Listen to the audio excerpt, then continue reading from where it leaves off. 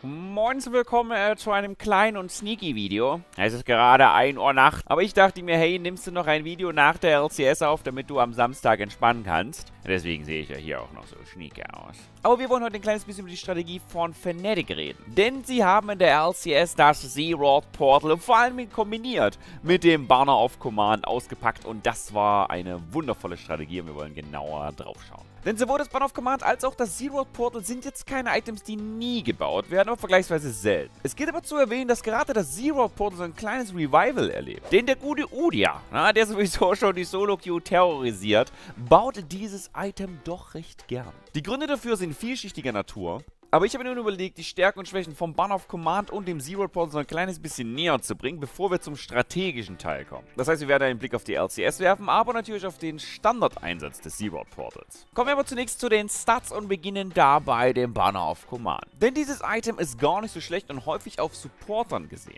Denn der größte Vorteil dieses Items ist die Tatsache, dass es eine Aura gibt, die Magieresistenz verleiht, ähnlich wie das Locket. Und das ist ja wirklich ein Standard-Support-Item. Mit dem Banner of Command habt ihr aber die Möglichkeit, relativ viel AP zu bekommen und natürlich die einzigartige Möglichkeit, einen Minion zu buffen, was natürlich super tanky wird, super viel Damage rausdrückt und euch natürlich einen gewissen Goldhaushalt gibt, was für Supports nicht schlecht ist. Tja, und als letztes natürlich pusht, während ihr nicht da seid. Und es gibt im Prinzip sehr wenige Dinge zu nennen, die gegen das Banner auf Command sprechen, sei es im Solo-Queue oder im normalen. Sicherlich verzichtet ihr im Vergleich zum Locket auf den Schild, aber die Utility mit dem gebufften Minions ist massiv. Vor allen Dingen gibt es da auch eine Abstufung. Meistens nimmt man das Kanon-Minion und das ist mit Abstand das kräftigste von allem, was die Tankiness angeht. Aber ich kann euch noch einen Heimtipp geben und zwar nehmt das Melee-Minion. Dieses Teil ist bezogen auf die pure DPS, das heißt, wenn es darum geht, zum Beispiel erstmal die Lane rauszupushen, bevor man am Turret ist, OP. Weil das Kanonen hat die Problematik, dass es nur bei jeder dritten Wave dabei ist und man kann es halt nicht so oft nutzen. Das Melee-Minion schwingt aber den Hammer so schnell, so schnell kannst du gar nicht gucken. Übelst unnormal. Super hohe DPS, sei es dann später an Gebäuden oder an Vasallen, was wichtig ist, weil das Vieh hält natürlich etwas weniger aus als das Kanonen-Minion. Aber vom Schadensoutput mit dieser extrem hohen Attack-Speed göttlich. Wann auf Command also schon an sich sehr vertretbar. Kommen wir aber nun zum Zero Portal und schauen uns da die Stärken und Schwächen an. Tja, und zu erwähnen geht es dabei die Goldeffizienz. Denn wie auch das Banner auf Command liegt man hier bei fast 100% und das wohlgemerkt nur bei den Stats. Das heißt, ihr hattet 60 Rüstung, 60 Magieresistenz und eine entsprechende HP-Regeneration. Das sind keine schlechten Grundwerte erstmal, die braucht man. Aber der aktive Teil mit dem Portal selbst und mit der Möglichkeit zu pushen sind göttlich. Denn erneut erhaltet ihr super viel Gold dadurch. Ne? Jedes Minion, was diese Viecher lasten, erhaltet ihr und die sind gar nicht so schlecht darin. Sicherlich haben sie die große Problematik, dass sie HP über die Zeit verlieren, okay? Das Decayed. Aber der HP-Verlust ist relativ angenehm. Das bedeutet, technisch gesehen seid ihr in der Lage, ein Zero-Portal an dem ersten Turret auf der Lane zu platzieren und er kommt bis zum Inhib. Das ist so die Standard-Range, was die Minions schaffen. Denn sie verlieren, wie gesagt, sehr, sehr viel HP.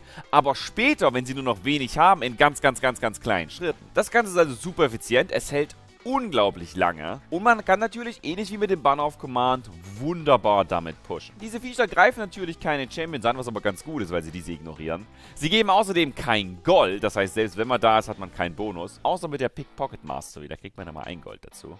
Fakt ist aber, dass natürlich die Möglichkeit besteht, eine Lane zu pushen, während ihr euch ganz woanders aufhaltet. Dadurch bekommt ihr wie gesagt das Gold, aber die XP jedoch nicht. Trotzdem bietet auch dieses Item vergleichsweise wenig Schwächen, wenn man aber die Utility nicht richtig nutzt, dann wird es problematisch. Man will ja meistens mehr als 100% Kosteneffizienz rausholen aus einem Item und das geht natürlich nur dann, wenn es sich selbst refinanziert und das geht super schnell, okay? Das geht wirklich schnell. Gut, kommen wir nun zum strategischen Teil, den wir schon so ein kleines bisschen angeschnitten haben. Und dazu werfen wir am besten einen Blick auf das besagte Spiel von Fnatic. Denn sie haben das hier äußerst intelligent gespielt, indem sie zunächst einen Nautilus Toplane hat. Da haben wir uns als Analytiker schon gedacht, oh, Nautilus gegen Malphite, das ist super langweilig und Malphite hat später, finde ich, den krasseren Engage und die bessere Utility. Aber Nautilus sollte man hier bezogen auf das Itembild nicht unterschätzen. Denn zunächst hat er das Banner auf Command gerusht. Das ist wie gesagt gar nicht so schlecht, er kriegt alles, was er braucht. HP, Regeneration, Cooldown Reduction und auch mit der 60 AP kann er was anfangen, weil er ein gewisses AP-Scaling hat. Es ist jetzt nicht übelst brutal, aber es ist kein verschwendeter Stat. Und als er nur dieses Item hatte, hat er trotzdem seinen Zweck erfüllt. Er konnte super gut pushen und hat sich sogar das ein oder andere Mal geopfert, um einen Turret zu bekommen und einen Tank zu verlieren, um einen Turret zu erhalten, der ohnehin TP hat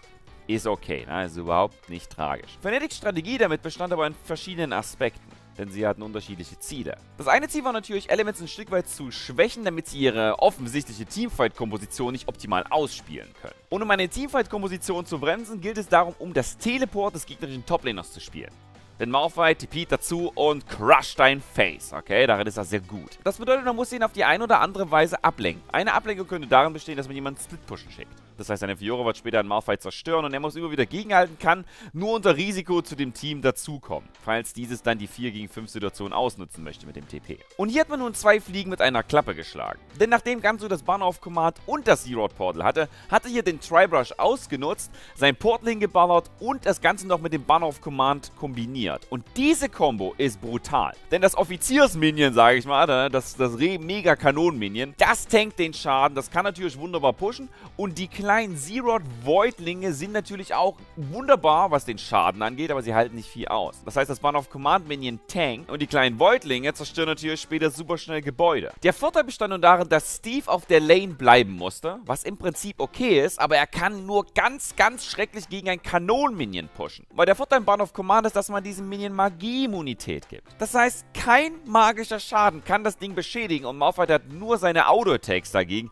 die er normalerweise mit dem W-Buff, aber dieser Onnit-Schaden verschwindet nun und sonst hat er nur Magic Dead. Die gleiche Problematik würde ironischerweise Nautilus selbst bekommen oder ein Rumble. Er kann dieses Vieh nicht aufhalten, okay? Es dauert ewig, weil der 25.000 Autotags machen muss. Und somit hatte Fnatic zwei Fliegen mit einer Klappe geschlagen. Denn ihr eigener Tank, also der Nautilus selbst, konnte beim Team bleiben. Die Lane pusht und Fnatic konnte immer wieder den Gegner mit dem Baron provozieren. Denn auf den Baron muss Elements reagieren. Und was tun sie? Sie lassen natürlich Steve Teleport. Dieser kommt dazu. Fnatic sagt sich, okay, wir lassen den Baron sein. Und wisst ihr, was passiert? Die Wave pusht. Seine Wave ist immer noch am Drücken und Steve hat keine andere Wahl, beziehungsweise irgendein Mitglied von Elements hat keine andere Wahl, außer dorthin zu gehen. Jemand muss die Vasallen aufhalten. Weil das Banner of Command Minion kombiniert mit dem Zero Portal, das zerstört die Türme super, super schnell und pusht die ganze Zeit die Wave rein. Tja, und das führt in wenigen Minuten dazu, dass Steve zur Lane hinlaufen musste, war dann also nicht beim Fight dabei und Fnatic hat den Vorteil, dass ihr Tank erstens mit TP bzw. an sich da war. Das heißt, man hat nun ein zweites Mal den Baron probiert, man ist ja immer in Überzahl. Steve konnte nicht dazukommen, wollte hinlaufen und bis dahin war der Fight quasi schon vorbei. Das heißt, Elements hat Teammitglieder verloren, viel Schaden bekommen und auch wenn ihr Steve mehrere Leute im Mund der Ultimate trifft,